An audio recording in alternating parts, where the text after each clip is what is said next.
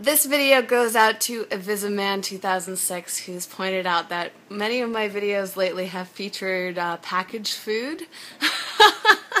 Which is really funny because, uh, I don't know, I guess I just post videos and then don't think about them afterwards. Um, but actually the majority of the food that I eat is unpackaged and fresh foods. Um, I guess I just don't film them very often for whatever reason. I haven't, it's just too time consuming to film absolutely everything that I eat. But I would like to dedicate this one to him because I am eating an orange or clementine right now and uh, completely package free unless you count the natural rind on it and it's absolutely delicious.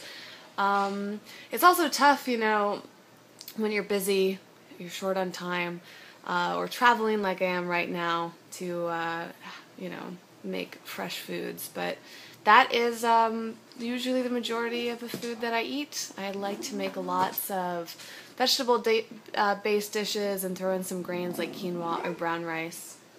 Got my dog over here looking for something. Anyways, I'm to go eat this. But I just wanted to give you a shout out and let you know that I hear you. I agree with you.